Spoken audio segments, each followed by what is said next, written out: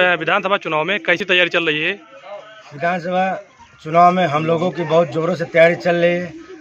आपके चैनल के माध्यम से बताना चाहता हूँ कि आप देख रहे हैं, झंडा लगाओ, अभियान चल रहा है, जिससे हमारे राष्ट्रीय अध्यक्ष जी के दिशा निर्देश अनुसार 17 दिसंबर से हम लोगों ने ये झंडा लगाओ कार्यक्रम रखा है। गाँव गाँव गली गली में जाकर झंडा लगाओ कार्यक्रम रखे हैं। जनता को माननीय अखिलेश यादव जी के जो हम्म, 2012 से 17 के कार्य हुए हैं उन कार्यों को जन जन तक पहुँचाने का काम कर रहे हैं और 2022 में राष्ट्रीय अध्यक्ष श्री अखिलेश यादव जी को मुख्यमंत्री बनाने का काम करेंगे। लगातार प्रचार प्रसार हो रहा है। जनता का कितना सहयोग मिल रहा है?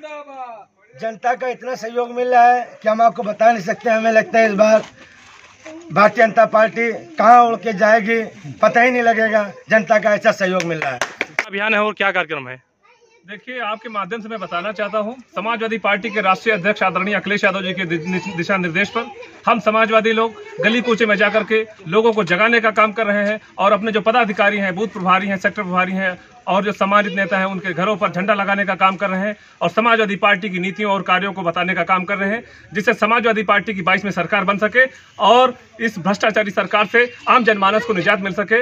आप देख रहे हैं, लगातार पूरे उत्तर प्रदेश में आदरणीय अखिलेश यादव जी के साथ, जिस हिसाब से जन सैलाब उमड़ रहा है, मैं बता सकता हूँ और बड़ा गर्व से बता सकता हूँ कि बाईस में बहुत बड़ा बदलाव होने जा रहा है। एक ऐतिहासिक जीत होगी जो विपक्षी लोग परेशान हो जाएँगे। उन्होंने सोचा भी नहीं होगा कि ऐसी जीत समाजवादी लोग जीत जीत दर्ज करने जा रहे हैं। और यकीन मानिए, मलियाबादी नहीं, पूरे उत्तर प्रदेश में समाजवादी पार्टी एक ऐतिहासिक जीत बहुमत दर्ज करेगी।